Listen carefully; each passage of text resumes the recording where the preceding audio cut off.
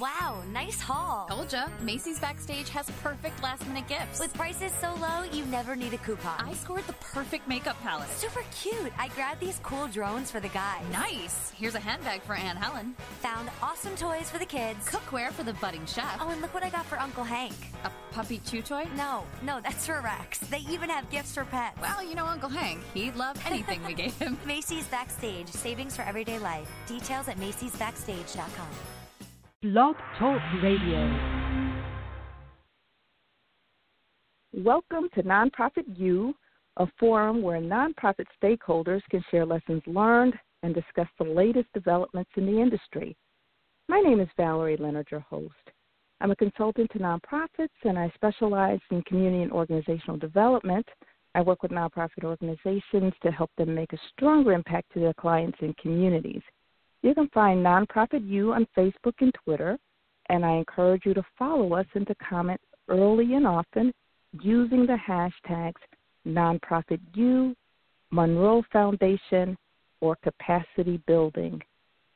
You can also leave comments on blogtalkradio.com forward slash nonprofit underscore U. The chat room is open and you can post comments and questions. In order to use the chat room, you must open a listener only account. And you can find a link to open the account on the page for this episode. You can also email me questions at consulting at valeriefleonard.com. We'll be taking questions by phone and from our chat room at about the 30 minute mark or so. Call in number is area code 347 884 8121. Again, that number is 347 884 8121, and we will be taking calls at about the half hour mark. Today's topic is organizational capacity building on the ground. We'll talk about the Monroe Foundation's lessons learned working with African American led organizations to build capacity, as well as their call for organizations to engage in the Chicago Community Trust on the table conversations. We have extended our podcast to one hour, and we encourage you to call in with questions again at the 30 minute mark. You can start posting in the chat room and emailing your questions right now. And if you don't have any, think of some as we go along. However, if you want to participate in the chat, you must open an account, and the link to open the account is found on this episode page. And, you know, you can also email me at consulting at valeriefleonard.com. Again, the call in number is 347 884 8121. We're especially encouraging nonprofit and community development professionals to call in, share your stories, share your strategies. And even if you're just starting out, you know, there's no question that is too simple for us to answer. You know, the reason that we're having this call in the first place is always to share lessons learned. And I find that everybody can learn something on these shows regardless of how much experience they have. Today's guest is Otis Chandler Monroe III. Otis is the founder and CEO of the Monroe Foundation, which is a 27 year old community reinvestment and economic justice advocacy organization. And they have over 100 nonprofit and faith based organizations throughout the Chicagoland area that are members. Since 1991, the foundation has successfully facilitated over $5 million in CRA investments. And when we say CRA, that's the Community Reinvestment Act, which requires that banks reinvest their money into the communities from which they uh, draw deposits, including the low income communities. And they've also um, facilitated lending and other investments benefiting African American communities and they have facilitated the redistribution of over $1 million in community development grants to grassroots community based partners of the affiliate, affiliate groups of the PACT Project, and PACT stands for Partnership Assisting Community Transformation. Recently, the Monroe Foundation launched Impacting Power Youth Biz to provide entrepreneurship opportunities for youth and young adults between the ages of 16 and 24 in Chicago's Englewood community. Mr. Monroe, in his advisory role to the Chicago Community Trust on the Table initiative, has committed to recruiting 20 organizations to host discussions over meals to explore ways to make Chicago community stronger. Otis Monroe is a 1991 graduate of the Roosevelt University Graduate Fellowship in Nonprofit Management. So, without further ado, I want to thank Otis for joining us today. But before we get started, Otis, can you give us a brief overview of the Monroe Foundation and how you got started in this work?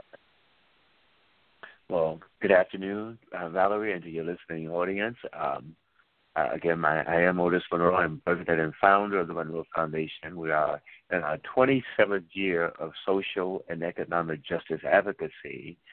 And uh, the Monroe Foundation started actually on my birthday in 1991. I had spent almost 20 plus years working in a not for profit community, if you will, as a community organizer, as a project manager, as an advocate on social justice and economic justice issues.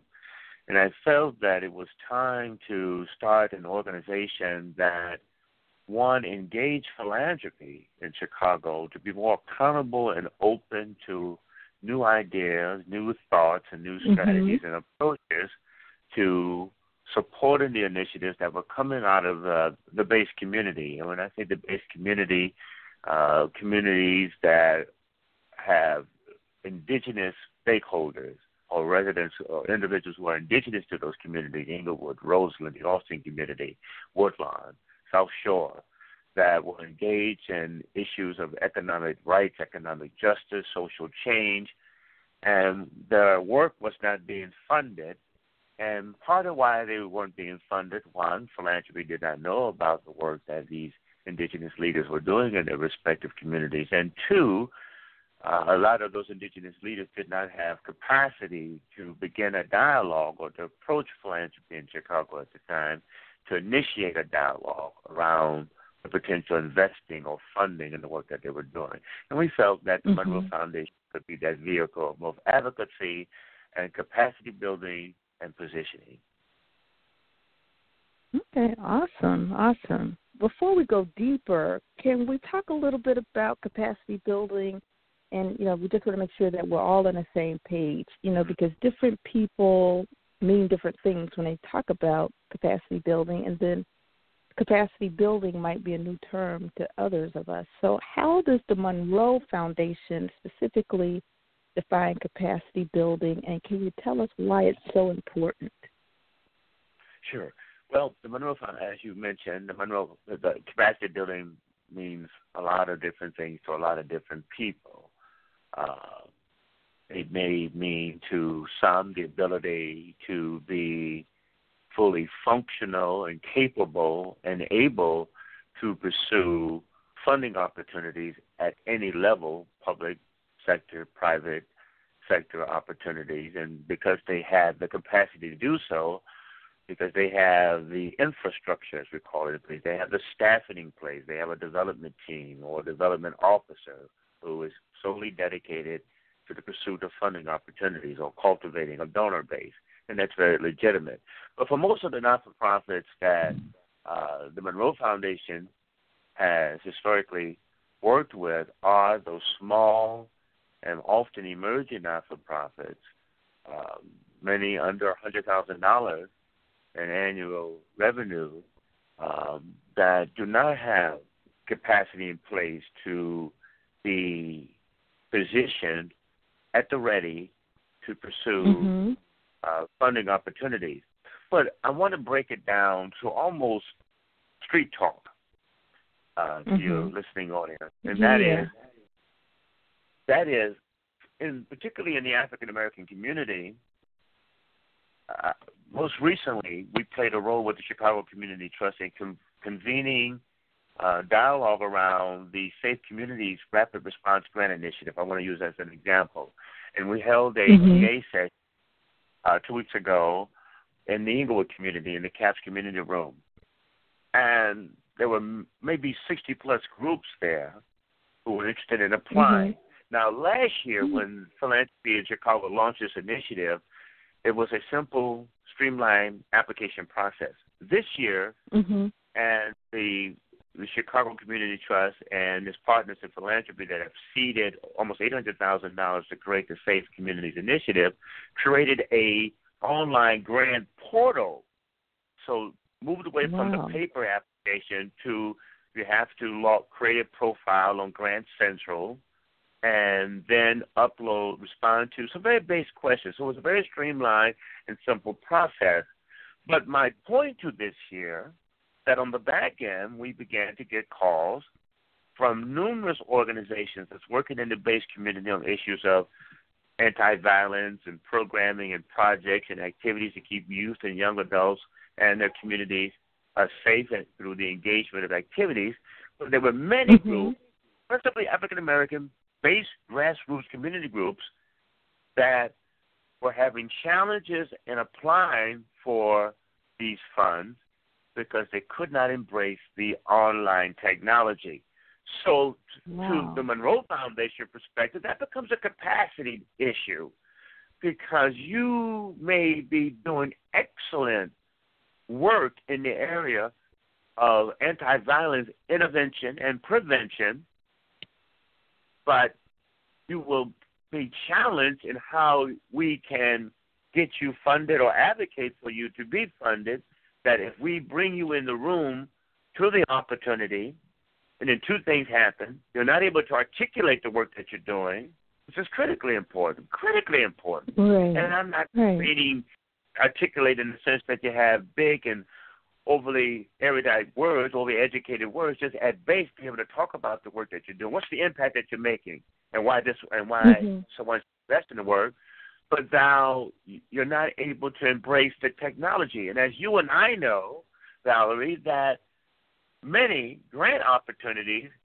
can only be accessed through the use and the effective use of technology.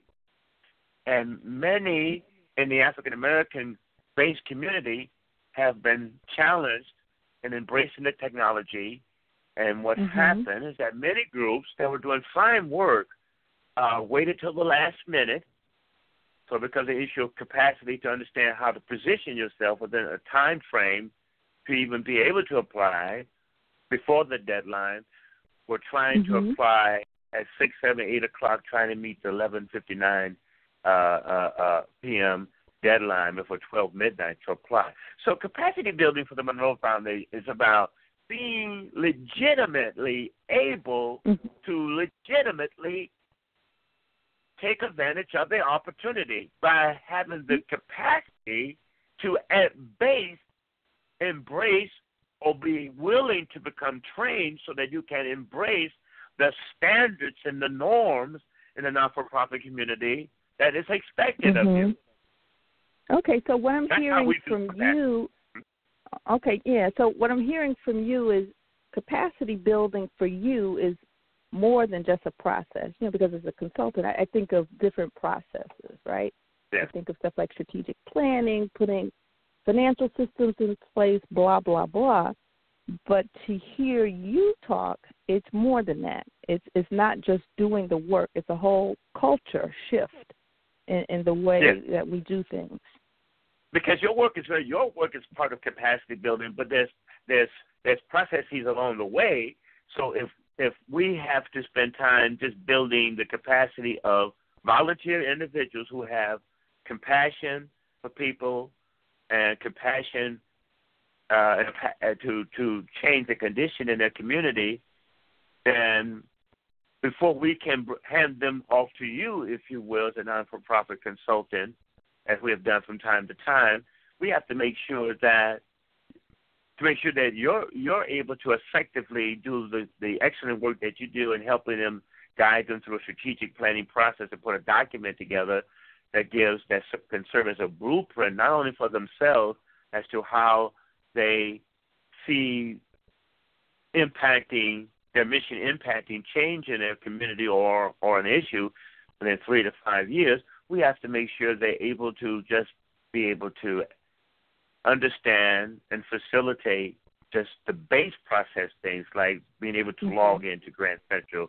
create a create a password and an account, so that now, uh, from a funder's perspective, you're legitimately able to get grant information alerts. And if you find a grant opportunity that matches your mission mm-hmm. and the mm-hmm. legitimate work that you can legitimately do, and you will take note, Valerie, and your listening audience, I'm using the word legitimately able to do, not trying to find a way to fit your program or your project into a funding opportunity that may sound like it's something that you do. Because, again, another part of base capacity building is understanding that most grant reviewers have a fairly understanding of the landscape in the Chicagoland community as to who's doing what or what is really a legitimate program that someone is asking for funding for. So before mm-hmm. we bring them to you, we need to base, make sure that at base, even if you put a strategic plan together that they want to use as a tool towards putting the proposal together for funding, we have to make sure they're able to embrace the standards and the norms just to be legitimately in the game. Mm-hmm. Because it is not sufficient and it's not legitimate to say, I really don't understand. Why can't I just send you a paper proposal like I did last year? You don't get to challenge the process that's defining how we want to invest in you potentially you have to have the ability to participate in the standards and the norms that the prospect is asking you to uh, engage in order for them to verify your legitimacy. Mm-hmm. Because that your yeah. your inability, your in one the the inability to embrace the standards and the norms also serves as a clue as to whether you have even capacity to mo- mobilize or engage the project or the program you're seeking funding for. Mm-hmm. Yeah, and I, I really appreciate your going through that discussion because I, I know it took me years before I could really understand what capacity building was. I, I can remember as a new ED working with grassroots organizations back in 2000. People were talking about capacity building. I'm like, what is that? And and the mm-hmm. folks in the ivory tower would describe it as efficacy. I'm like, efficacy? What is that? Let me go look. You know, make it sound like we got like we had some kind of disease or something. You know, because when I hear mm-hmm. efficacy, I think about drugs and and how effective those are. But you know, those were not tangible words for me, you know, as a person doing this work in North Lawndale. And I really do appreciate the fact that you broke it down. You made it plain and simple. Well, again, it, it becomes part of standards and norms. Not only being able to access the, again, the the processes to even apply for funding or to be listed in the portal of of of philanthropy to get the grant alerts, but just understanding understanding the language.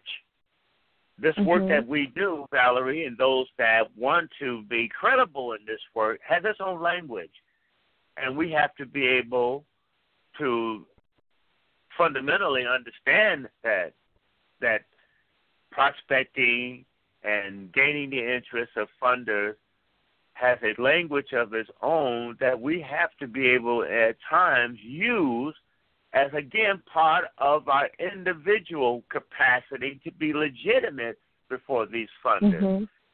We have to embrace the standards and the norms, minimally so, at least at the beginning, so that we show some evidence of professionalism and legitimacy. We can still be snagger toothed and and not necessarily have subject and verb agreement. And if that's not who you are, then another part of capacity building is if I'm not the person to put together the strategy to present to the funder, I'm the person, founder of the organization, that, and my job is that I have a heart full of compassion for people, and all I can do is speak to that compassion that I have for people, that I have for change in my community, then I am the opener to the to the prospect. But I have someone in my team or my board of directors or someone that's working with me that helps close the deal because that's the person that can put the language together using the mm-hmm. buzzwords, using the terminology, using the phrasing that and that that a prospective funder looks for in evaluating should we really consider funding or investing mm-hmm. in this initiative.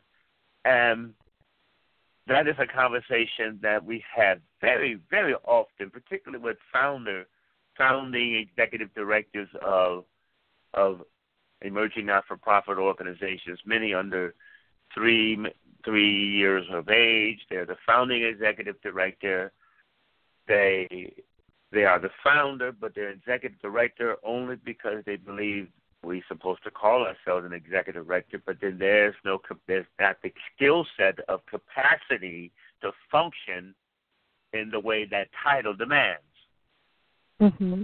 And the Monroe Foundation, from time to time through the years, has held half day workshops, what we call uh, uh, first time executive director workshop. What is an executive director? What is a chief executive officer? Because these titles mean nothing, Valerie, and to your right, listening right. audience if you don't have the principal competencies of capacity to be legitimate in that title.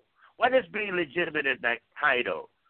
So if a prospect asks you how do you evaluate your mess your your your your programs and how do you measure the effectiveness of the work that you do and you can't answer that but something we're working on, then you're you're illegitimate in the use of that title. And we mm-hmm. want black people, particularly black people, who are trying to build solutions to the many issues, the many problems that plague our community in particular, Mm-hmm. We want to make sure that they are legitimate in their approach. And legitimate in their approach is not saying that they themselves are not legitimate. They are very much legitimate, often, in their compassion. I will admit, I will admit, you know me a long time now. There's some folks that's just doing this work because they heard they can get some funding out there. And you were at a meeting that we held about two Saturdays ago in Englewood, and a few folks asked about a ten thousand dollar rapid response grant and how they could take nine thousand dollars to pay themselves a salary. That's illegitimate. that, those are signals right there. You're not trying to make right. change. You're trying to find a way to have some pocket money for the summer. Uh, that's how I characterize it sometimes. But being legitimate in that title is being able to legitimately speak to how an organization will take ten thousand dollars from a Safe Summer initiative and in a one little pocket of the world that they reside mm-hmm. in that begin to make some change. Mhm. That's also and change that they can. Yeah, change they can document. Change that they can document. Absolutely. I mean, the last last year, Labor Day weekend, when the Safe Summer Initiative or uh, Safe Communities Initiative was launched, one of the things we asked groups, particularly those that we served as a fiscal agent for, and we did it again this year because we're fiscal agent for about 15 or so um, nonprofits that didn't have a, a 501c3, and that's fine. Some of them are still in the mm-hmm. incubating stage. But we suggested, however much they get, put aside a couple hundred dollars to go beyond the reporting requirements of what you've done with the funding, if you're successful in your funding request, but put aside a couple hundred dollars just to put together a mini report or some evaluative mm-hmm. report. Use this as an opportunity to begin to build an ongoing relationship to philanthropy in, in Chicago by going beyond the minimal that the funder is asking for, that you will be asked to prepare a report at the end of the term, at the end of October. It's going to probably be here. That's word again, an online report that you have to submit to. You should do that. But go be, think beyond mm-hmm. just the online reporting submittal. We're going to send a report that just doesn't have a, a bunch of pictures in there and nice, you know, graphics. But this is how we evaluate. This is how many people were in the program. This is at the beginning. This is how many people were impacted at the end of the program, and this is how their lives was changed in some way. Mm-hmm. In some way, this is how many people at the end of the program enrolled in GED, or got and on a and and or enrolled in uh, uh, uh, uh, um, a methadone treatment. Um, mm-hmm. So now they're less they're less they're less apt to stand on the corner panhandling or thinking about crime because as a result of some activity that you had them engaged in that also connected them to counseling services or addiction services that they need. So that's five, ten, fifteen people that's less apt to commit a crime, that's keeping a community safe because they're in a program, they're in a, a housing program or that, that keeps them involved, keeps them treated, mm-hmm. keeps them talking. That's what these initiatives have to be about. It's not okay. just about awesome. giving folks a hot dog, and then and my capacity is to buy to have a nice event, and then the people go back and they still got that itch on them. How are you impacting yes. change the issue that you say you're working on? And that brings me to another question. I know that you guys provide technical assistance in a number of areas. You know, this could be through small grants, it could be helping P businesses, helping folks start organizations, and all that good stuff. So, can you share an overview of your technical assistance programs, and can you give us your approach that that makes you unique? Well, here's the interesting thing. Now, you know, in the early days of the Monroe Foundation, we focused on providing technical assistance to emerging not-for-profits, well, two categories or groups. One, to emerging not-for-profit organizations that were in the very beginning stages, wanted to establish a not-for-profit and eventually apply for a tax-exempt status with the IRS. And we would put mm-hmm. a strong premium on building capacity first, just making sure, because I'm of the opinion that the world ain't hurting for another not-for-profit that ain't going to do anything with their exempt status. You may recall right. about five years ago that the IRS revoked thousands nationally revoked thousands of tax exempt organizations that uh, when the Congress issued a rule two years before that not for profits that had not filed uh, 990s for three consecutive years, I believe, that uh, they right. were they were the, the, the exempt status were revoked, and the R, the IRS did not make it easy to uh, uh, uh, uh reverse these revocations. So I'm of the opinion that the world's not hurting for another not-for-profit that's not going to do anything. Well, we didn't do anything because we never got any grants. And you you didn't need to do it. You didn't need to start this not-for-profit to begin with. So we right. put a lot. We put a heavy premium on board training and making sure there was buy-in from the board of directors or the forming mm-hmm. or the organizing board and take them through board training. In the, mm-hmm. in the last really, uh, Valerie, in the last five years, we've really begun to do, we really moved away from that. And my position is if I'm not referring them to you for consult, I'm sending them to the Law Project.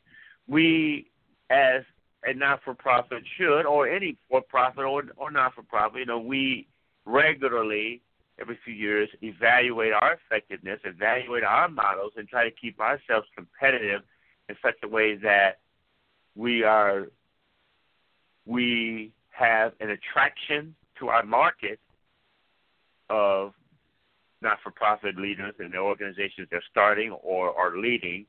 So we kind of evolved a bit from a lot of the startup not-for-profits and really mm-hmm. focus on building or strengthening the capacity of more existing but still in an emergent stage of not for profit organizations that are already engaged in some aspect of committed and uh, reputable and work that is undeniably uh, making gradual impact.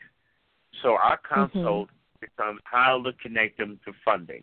That's really where we are right okay. now. How to connect those not-for-profits to funders. So we have relatively good relationships with, with philanthropy and corporate philanthropy in Chicago.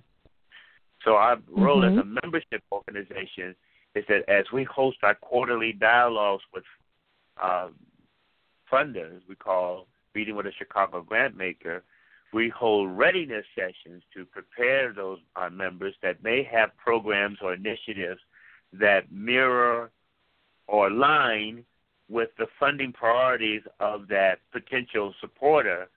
We spend mm-hmm. time readiness sessions going through their the mission of that funder, that prospect, the application process, and how to best position the work of that organization. So, in short, we've moved away from a lot of the startup not for profit work and really begin mm-hmm. to focus on working with not for profits, maybe anyway under under five years old, that are already fully mm-hmm. engaged in some aspect of the work and really need to expand and diversify their funding base. That's really has become mm-hmm. the thrust of our mission. Okay, awesome. All right. I want to remind our listening audience that you're listening to Nonprofit U, and we're speaking with Otis Monroe. He's the president and CEO of the Monroe Foundation, and we are talking about organizational capacity building on the ground.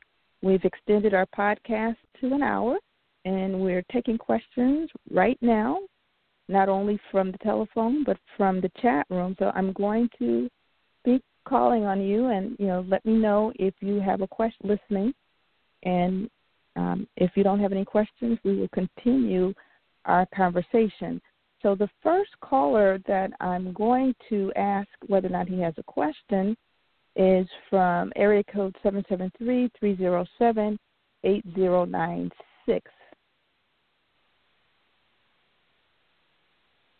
Caller, did you have a question? Okay, I take it that there was no question here. And I'm going to try a second caller, area code 773 624 0585. Okay, caller, did you have a question? Hi, good afternoon, Valerie and Otis. Uh, you both. This is oh, uh, David good. Pendleton. Thanks. Hi, Hiya. this is David Pendleton from Door Hope Rescue Mission. How are you both? Very Great. well, thank and you, you. Good, good. I, Otis, I met you some years ago through Frank Grouse. And, uh, of course, Valerie, I know you. And Mm-hmm. it's been a very, very interesting, very straightforward uh, lesson uh, in this time that you guys have been on, and I hope that there are people that are listening because these are things that uh, I found helpful. What I did know that you've spoken on is things I did not know. I'm definitely taking notes, and especially when you spoke about the legitimacy of the executive director. Um, and I found, and I, and I agree so much that the evaluation is the true barometer. But I've also found that your, your evaluation is reflected in the ever-changing narrative of the organization, uh, and being able to articulate that uh, in those uh, numbers for people to understand your need. Mm-hmm. Where I have a question is where the board chair and executive director have, a, a, in my opinion, a mutual accountability for the legitimacy of that the organization as well as the role of that executive director. That is something I feel that board needs to understand uh, when that person is hired. Um, you know, A lot of these places are not founded by the ED; they're they're founded by an organization, and that role has several people that take that that role. And you know, with greed being uh, the motive of some, the board should be the stopgap of that ever even happening in, in the uh, narrative of a grant or any other funding opportunities. So I'm, I'm asking, you know, at what point is the board also accountable for the legitimacy of that executive director's actions and uh, evaluation? Well, I'd like you take it, uh, uh, if you don't mind, because you you've been working more with boards than I have of recent. Mm-hmm. You want to take a stab at that? Sure, sure. Uh, legally, the buck stops with the board. the The board is culpable legally for all the actions of an organization, even more so than the executive director. The executive director is an employee. Um, God forbid if there's any malfeasance, you know, amongst any employee or board member, you know, it's the board that the IRS is going to go to first. Now, having said that, that does not mean that the executive director gets away, you know, scot free. You know, the executive director is there to implement the vision for the board. Um, the board is there to set strategic direction. They're there to oversee policy they should not be in the business of sticking their fingers in the day-to-day operations. You know, you wouldn't. You know, what's the point in having staff? But when you have a small staff, you know, you're necessarily going to have to have a working board. So in early stages, when you form your organization, and I agree with you, you know, you you tend to start with an organization that may not necessarily have staff, and once you hire the staff, it gets very difficult for people who founded the organization, who had their hands in everything, to relinquish some of the control. So, in the early stages, you really need to be clear to delineate the roles of the board and the staff. But at the same time, there needs to be an expectation that this is a working board. There's no one person that can do everything for an organization and make it successful. so it needs to be some clarity around, you know, what hands-on types of things your working board is going to do, but do it in such a way that they're not in in a you know conflict situation with the executive director or any other staff. So there needs to be clarity around those roles, responsibilities, and those duties. But legally, the the board is ultimately responsible. I don't know if that answered your question. Did, did it answer your question, or do I need to be more specific? I, I think it gives a nice um, outline, uh, but I mm-hmm. thought that Otis had some very good points on legitimacy. I, I think he used that word quite a few times. And if somebody didn't hear it, they just don't want to be legitimate. and and, and yeah. I don't want to take, I, you know I don't I don't want to take the uh, uh, the onus off of the ED, but I just thought that the, the full scope of work of the organization should show uh, both sides. And I think uh, mm-hmm. now that you've said what you've said, I think it even adds even more uh, impact to evaluation, which uh, I think would uh, you know, or either if you have something to say on the actual evaluation, uh, because that's what he said made the ED legitimate, and I, I think that's a pretty powerful statement. And uh, uh, uh, what, you know, what, I, I think what, I think one of the things that we found from time to time, from our perspective, is you have a you have a person in a community who again has a a passion for making a difference and is compassionate about helping people um, do the best for themselves or see a better a better way of life improving the quality of life, the buzzword often used. And mm-hmm. they form a not for profit organization and then they begin to get some some some some attraction because they're actually making a difference. Now they start to get some funding with that attraction. Now they want to now they want to go from being the founding president of the organization to founding president and executive director. But they're, they're, they're illegitimate in that role because they don't have the competencies or the core skills to function as executive director. So the challenge becomes from the Monroe Foundation is to convince them this is not what you do. You need to remain the president, if you will, should the board should the board want you to be now, uh, because the challenge too is that many not prop many founding leaders of not for profits fail to understand or challenge to understand or outright don't want to understand that the not for profit does not off the the structuring does not operate as if a for profit would operate where you can be president for life. You cannot be removed. And so uh so therefore and even in that role, because you may be the founding president, but the board may want to remove you at some point because you're not even functioning legitimately in that role. Mm-hmm. Sometimes we may be the one that some of the best not for profit examples are those that were founded by an individual because they wanted to see something different happen in their community or happen in the world. And but and they played a role in building the infrastructure of the organization, meaning building uh, a, a, a, leadership structure of board, of board members who are committed to building a strong organization that can attract support towards that would help it grow and have sustainability. Not board members who everybody on the board care about their community, but I really need a job. Now, when the money's come, well, how can I get one of those jobs? Why I can't get paid now for taking the minutes? So the best examples of not-for-profit leadership have been those where the founder founded the organization, incubated it to a point of stability, or at least the legging towards stability, and then removed mm-hmm. themselves. Removed themselves. Maybe not even taken, or not maybe not even took a leadership role. Just wanted to remain uh, a stakeholder in the community process. So evaluating these processes often too begins with evaluating one's own capability. To I'm, I was I was good at being a part of the founding of the organization, but trying to build infrastructure that attracts support, that sustains support. That's not what I do.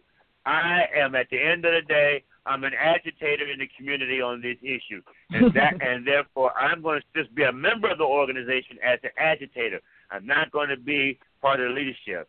I was just part of the formation of the organization. So there's so many different legs to this whole process of building and sustaining and keeping your not-for-profit relevant. Even, I mean, the Monroe mm-hmm. Foundation, even at 27 years, we have to year after year. We have at the end of the year, we have a kumbaya, get together with some tea and some cocoa in December, and let's revisit what we did the previous 12 months and what we need to look at the following year, just to keep our our current funders' interest as well as attract new support.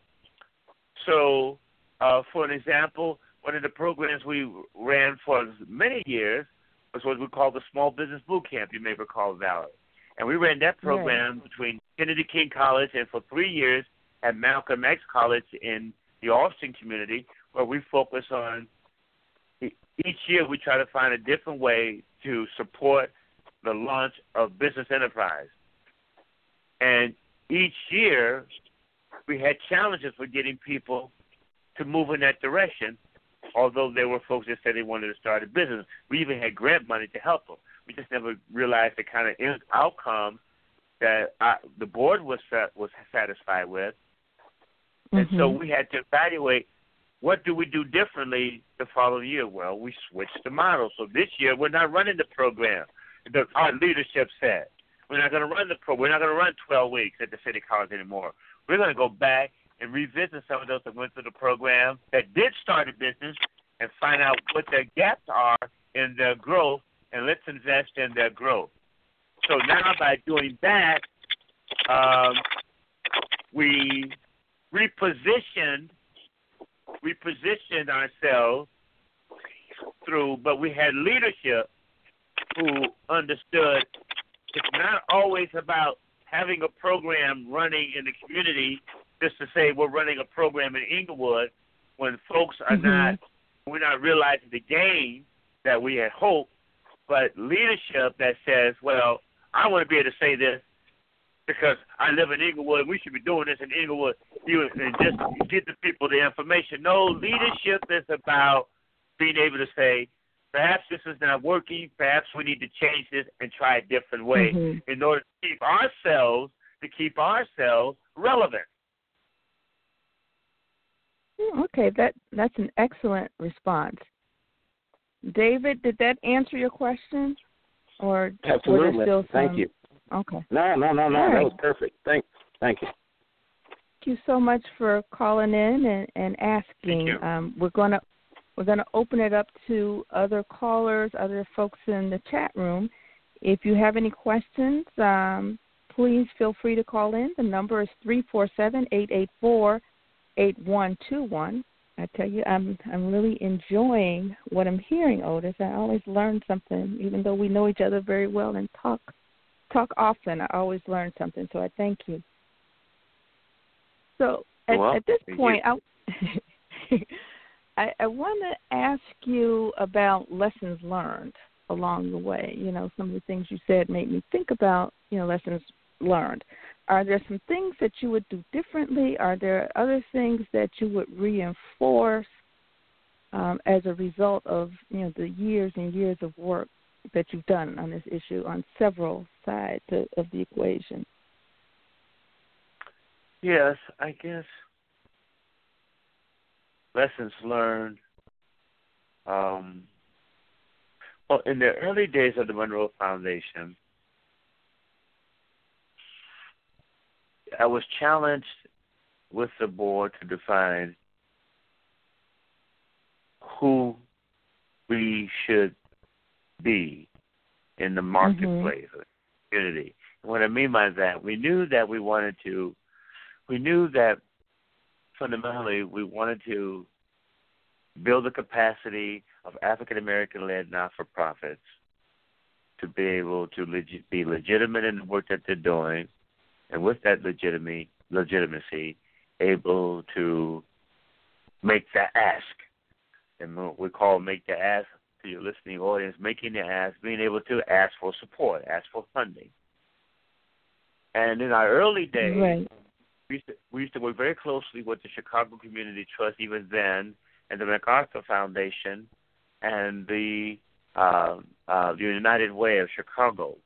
And at that time, back in the early 90s, each of those foundations, particularly the United Way and the MacArthur Foundation, had these portal grant initiatives.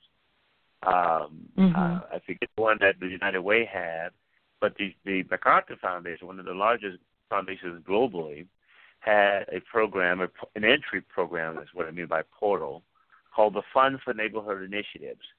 And what we mm-hmm. had uh, were able to get these foundations to become a part of was these readiness practice proposal sessions, whereas we would identify for my members maybe five or so member organizations that had projects that fit within the funding criteria and guidelines and interests of either of those funders.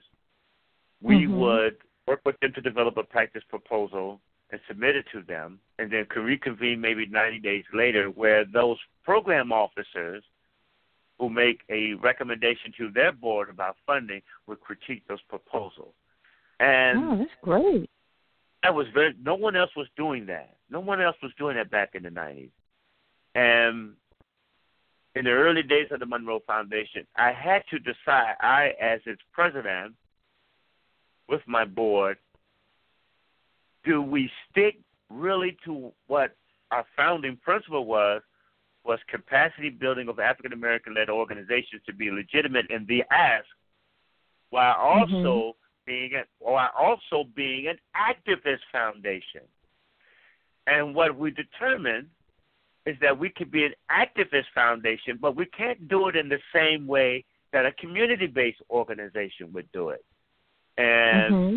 uh, that's why I made it a point to go back to school and was a fellow in the original nonprofit management program before Spertus and before North Park. Uh, Roosevelt University had the program that was led by Dr. Roberta Liebler and Aurie Pennick. a recently retired president of the Field Foundation of Illinois. Um, so, lesson learned is that the first lesson learned is that be true to your mission.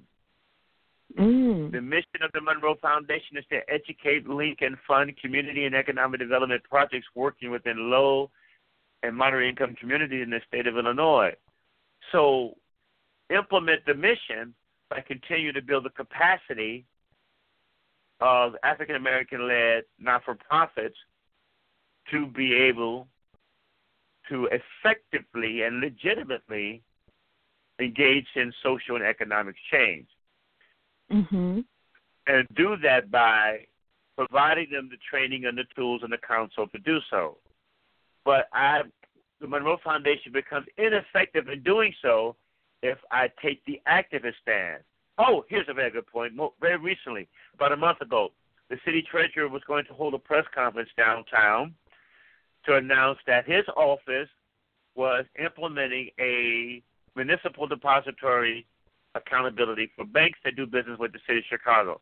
Now, fundamentally, mm-hmm. there's nothing wrong with that. However, many of our Monroe Foundation members that we have worked with and were successful in getting their work funded by banks, some of these mm-hmm. banks that are city depositories, asked, should we go to this press conference?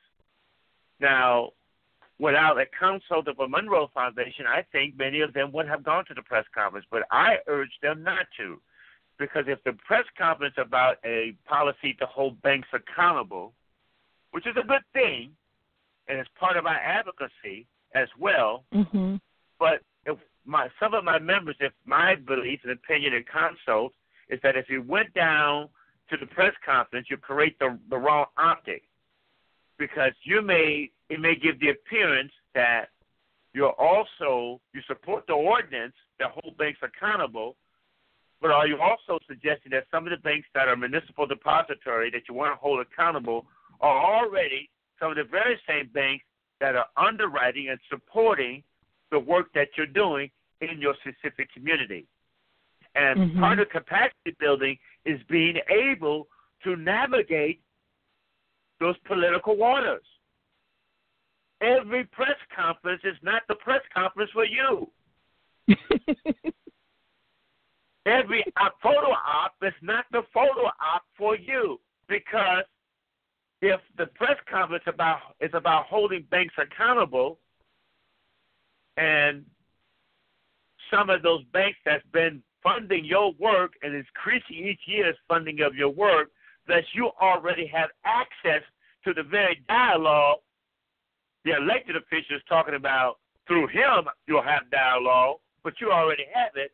That's not the optic for you. That's not the press conference for you. There's no war there. And but again, that's part of capacity building. Being able to judge these political waters, whether they're whether the, the political orders that come from elected officials or inherent within the community. Every press conference, every rally, every march, every protest may not be yours. And you have to be willing you have to be willing to make those decisions and make them quick. and be willing to stand by it and and and be able to uh, take the heat, take the fire, often from your own community, sometimes within your own ranks. Yes, yes, yes. I, I know how that goes, no, and I will. I know you do. you cannot declare war when there. You cannot declare war when there's no fight for you. Everybody's cause ain't your cause, and everybody's cause may be your cause, but you may have a more defined and strategic approach to your role in that cause. Therefore, for the Monroe Foundation, on our when you look at our Facebook page, you will not see me in the bathroom with a mirror and looking at myself grooming. Look how I'm dressed today. You will only see the work that we're doing in the community to create opportunity for access. That's all you're going to see. My, my personal opinions, my personal comments are my personal opinions and my personal comments. Stay focused on mission. Stay focused on mission. Stay focused on missing, mission and messaging that mission. Okay, we have just a few minutes left, and I want to talk about on the table. You know, you're an advisor sure. to the Chicago Community Trust, and you are encouraging folks around the city to have these on the table discussions. So, can you tell us a little bit about that initiative yes. and some of the uh, work that has come out of it? On the on the table is an annual convening. I believe it's in its third year uh, it's an annual convening that's led by the Chicago Community Trust within the Chicago region, you know, its funding area, to encourage citizens, everyday people, to come together, eight or more, around the table or, or, or at the kitchen sink, at the water cooler, uh, at the barbershop, wherever, to talk mm-hmm. about issues or an issue that they want to see impacted. And maybe they want to impact that issue themselves through some kind of way. And with that opportunity, they can produce a three minute video called Acting Up that reports out to this is what we talked about at our on the table gathering, and this is what we're going to do about it, and upload a three minute video, send it to the Chicago Community Trust. You may have an opportunity to receive a thousand dollars or two or two hundred two two thousand five hundred dollars $2,500, thank you, to implement that vision. But more important than the money, for those out there in the community that say, we don't know how to connect to the Chicago Community Trust, we don't know how to get our voices heard by philanthropy. This becomes an opportunity to share mm-hmm. ideas and create connectivity. So we are pleased to be a partner with the Chicago Community Trust and encouraging groups and individuals to hold these convenings uh, you got one coming up. We're going to support your event.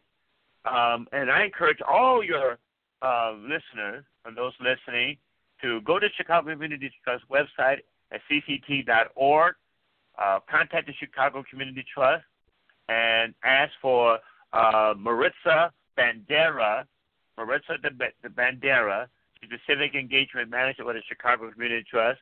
It's not too late to sign on or just go to the website again, cct.org, or type in the search engine on the table.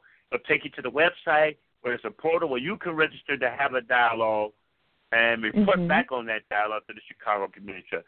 So again, these are opportunities. They bring attention to your voice. The, the the theme is your voice matters, but the only way your voice matters is that you legitimately embrace the opportunity to get your voice heard. I love it. I love it. We got to do this again soon. yeah, I mean, there's there's just so much. I mean, there's so many more questions that I have of you, and you know, your knowledge runs extremely deep. So you definitely got to come back and come back soon. Um, so we're winding down, and Otis, I want to give you an opportunity to give your closing statement. It's not like you're on trial; you're not litigating a case, but what what's your closing statement? How can folks get involved with the Monroe Foundation? And, and most importantly, as you talk about this work, what's your unique value proposition for joining the Monroe Foundation? So include all of that in your wrap up. Well, you can always contact the Monroe Foundation at uh, 773 315 9720. 773 315 9720. Uh, that's direct to me. Uh, we are a membership based organization, and the most unique value of our of membership with the Monroe Foundation, I think, that sets us apart from all others is that we connect you directly to funding opportunities. Again, as I mentioned, we hold quarterly dialogues with uh, potential grant makers. We can never guarantee them funding, but we've had a pretty good track record. I think our advocacy resulted in over half a million dollars in uh, funding uh, to our, our member organizations last year. Oh, and the awesome. average grant size anywhere. I think, thank you. And the average grant size is anywhere from twenty five thousand uh, to fifty to a hundred thousand dollars in funding. So it depends on the type of organization and the work they do, and the strength of their their strength of their credibility and their legitimacy to actually substantiate that if we're asking for $100,000 or $250,000, this is how we can demonstrate our ability to administer the program with that kind of money. So, uh, my parting thought would be the most important word throughout this whole hour is legitimacy. Legitimacy, mm-hmm. legitimacy. Because certainly only those that are legitimately able to substantiate and prove their theory, prove their ability to do what they say they are doing or say that they want to do, is only through their legitimacy of capacity to show they can do this work uh, are those that get attention. Okay, so on that note, I, I, want to say thank you so much. We've come to the end of our show, and thank you so much, Otis Monroe. Um, just want to remind our listeners that Otis is the president and CEO of the Monroe Foundation. And again, you can get in contact with him. What's your number again, Otis? 773 315 9720. And just a quick shout out to all our supporters uh, O.S. Owens with the uh, AARP, Paul LeBon, Tony Smith with PNC, Eva Brown, Melissa Barino with uh, U.S. Bank, and Robert McGee and George Wright with Citi Community Development, and Manny Jimenez and Sandy Turner with Marquette Bank, and Melinda Kelly with the Chatham Business Association, and, and Athena Williams, too, our project coordinator. Uh, the work of the Monroe Foundation is only as effective as those who support us and those who uh, help me implement our mission. Thank you, Valerie. Thank you. Okay. And thank you. And I want to thank our listeners for listening to Nonprofit U Blog Radio Talk Show. I want to thank our callers for calling in. You didn't all have questions. I want to thank the folks in the chat room. And, and thank you, David Pendleton, for sharing your questions, your thoughts. You added a lot to the conversation, and I really appreciate that. So, and until then, um, I want to um, thank you. So our next show will be Monday the 15th at 2 o'clock, and my guest is going to be Lamont Watts. Lamont is the program director for Future Vision Entertainment. Um, some of you may know that I will be joining the the global news forum. You know, I'm not going to abandon Blog Talk Radio, but um, glo- Global News Forum will be where I do the live recordings and then I'll use Blog Talk Radio to syndicate the show. And this will give us a greater presence in five major U.S. markets, and then it will also help us to continue to expand internationally. So I'm very, very excited about that. So um, we're going to be talking about what that new format looks like. And Otis, I really want to have you back. I'm there. You got so. Bless you. yes, yes, yes.